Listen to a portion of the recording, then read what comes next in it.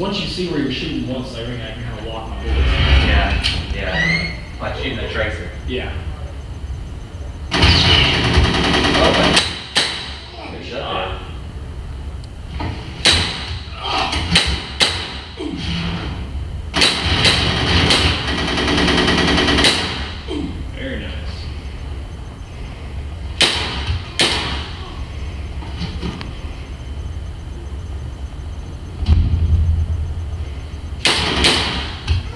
guess you have to do a reload in between there and mm -hmm.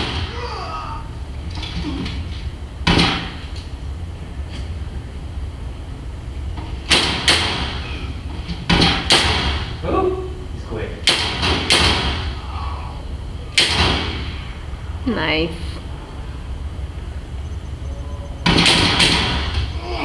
Finally got it.